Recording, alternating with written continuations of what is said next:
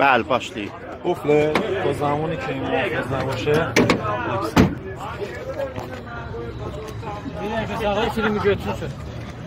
قفله تا زمانی که این محافظ نباشه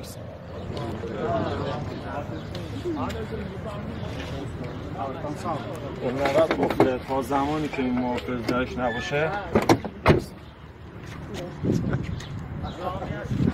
تیبا و ساینه در عقبشون وا میشن با کاپوت سرقت باتری لوازم داخلی جو فارس 94 رو بالاست شرکت اومده ضد سرقت کرده اصطلاحا. ولی درش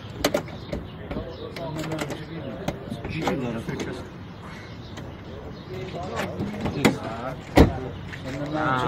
نه بی مدل هست همچه تک سی 26 کاپوتش بسته است. برای جلوگیری از سرقت ایسوش یعنی با چوب بستنی هم شما می‌تونی کاپوتش رو باز کنی با خودکار بیک. پژو پارس پژو 400 الان قفله. یک ثانیه.